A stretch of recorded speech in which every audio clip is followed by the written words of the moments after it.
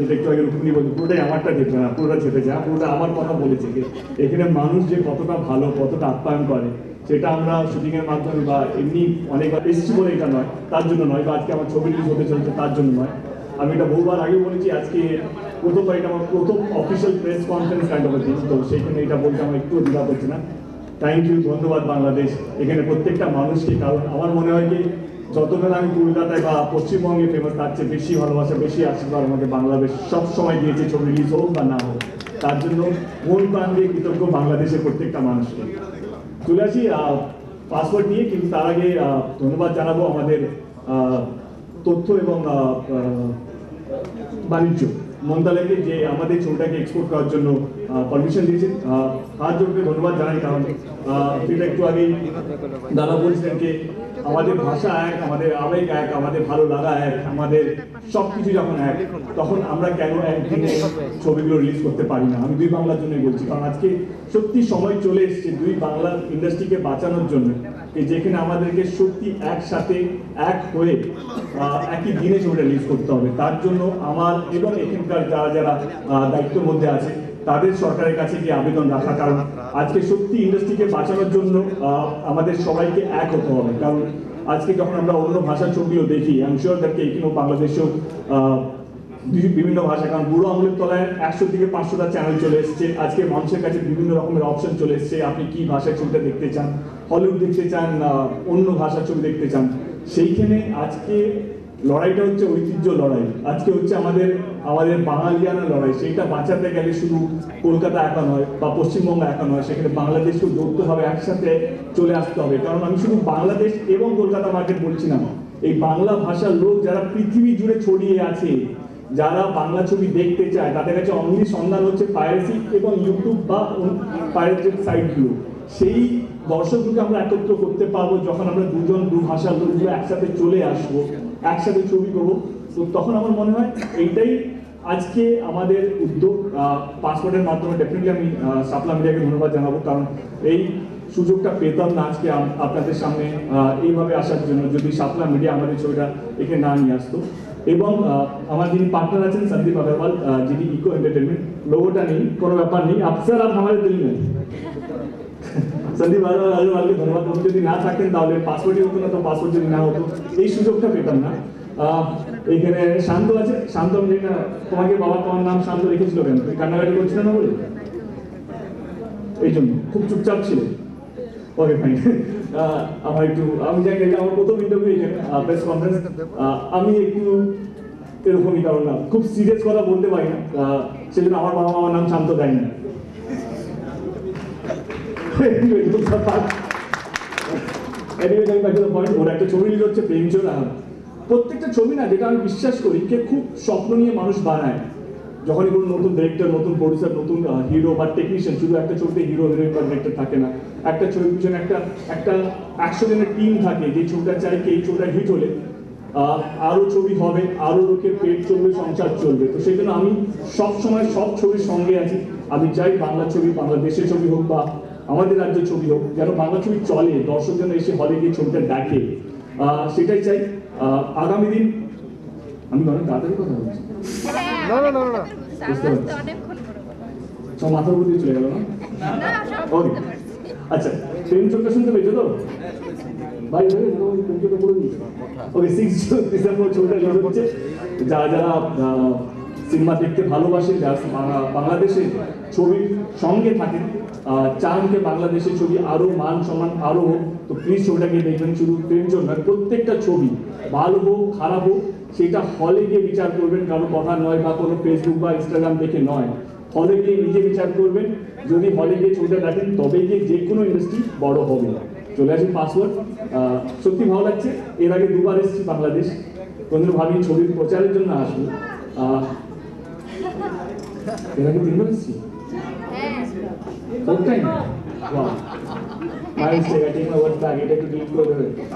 মান সম্মান চলে ডুবে যাব কিন্তু, হ্যাঁ? Okay, thank you. আমার কত বয়স হলো? Sorry, আমি ভুলে এটা- পরে।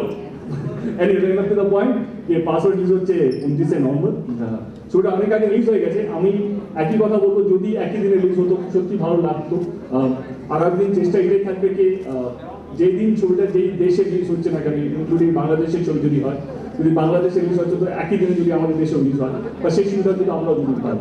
আহ, অনেকেই এখন বাংলাদেশের থেকে বাংলায় কাজ করছে সাকিব ভাই অনেক কাজ করছে বাংলায় আহ, হাসান অনেক কাজ করছে এবং অনেকগুলো লোক কাজ করছে। আমি চাই কাজগুলো যেন বাড়ে আরও আদান প্রদান হোক সেই চেষ্টাটাই একটা উদ্যোগ নিয়ে আমরা এখানে এসেছি পুরো পাঁচশোরের টিম আবার বলছি যে বাংলাদেশ এবং বাংলা ওয়েস্ট বেঙ্গল পশ্চিমবঙ্গ যদি কলকাতা বলি বড় হোক বাঙালি যেন বড় হোক বাঙালি যেই প্রান্তে থাকুক না কেন আহ, পৃথিবীর যেই কর্নারে থাকুক না কেন গর্ব করে বলতে পারে যে এই ভাষাটা আমাদের ভাষা এটাকে আমরা লক্ষ্য করে কি বলে?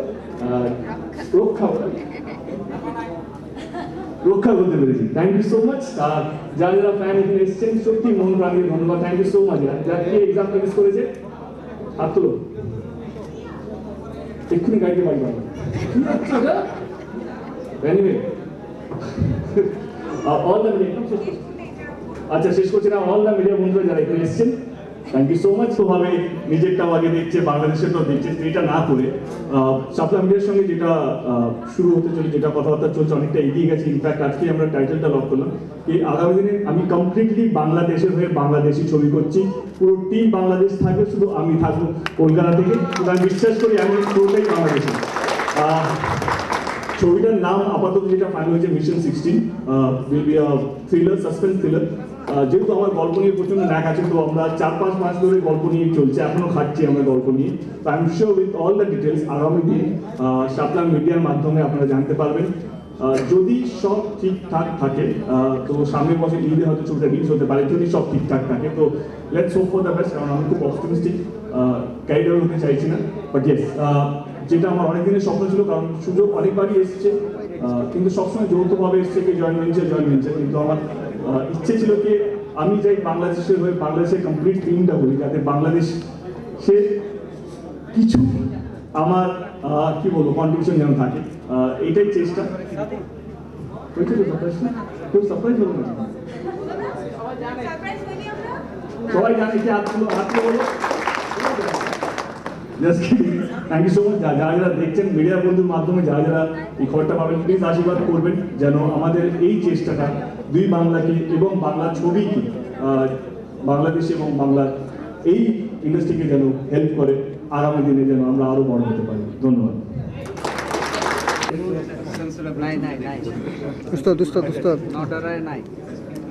ভাই মোবাইলটা দাও।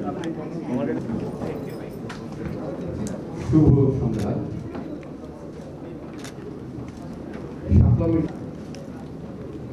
সাতটা চুক্তির আওতায় যে ছবিটি আমদানি করেছেন,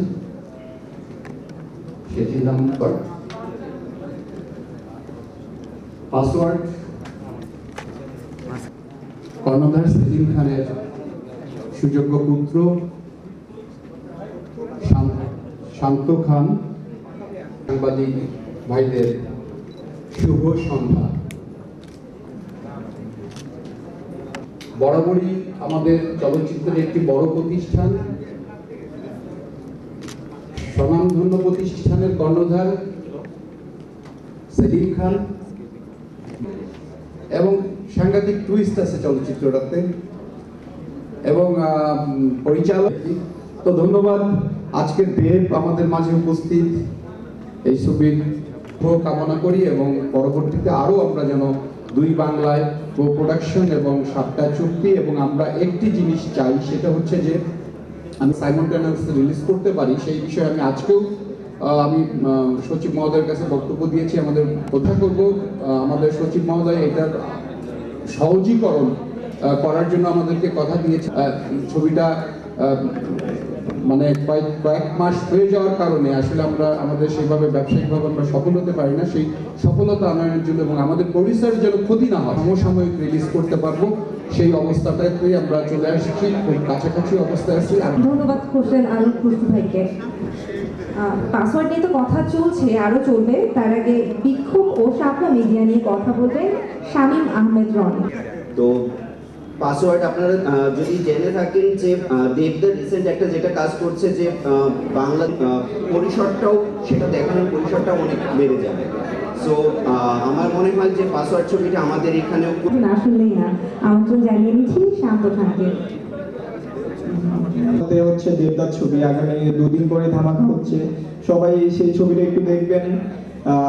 আর হচ্ছে ছয় তারিখে আমার আমি অভিনীত আমার প্রথম ছবি পেঞ্চল ছবি রিলিজ হচ্ছে। সবাই হলে যে ছবিটি দেখবেন, ধন্যবাদ। কলকাতা থেকে একটা ছবি নিয়ে এসেছি। প্রথমেই বলি যে, বাংলাদেশের সমস্ত মানুষ, সমস্ত দর্শক আমাদের, তাদের প্রতি আমাদের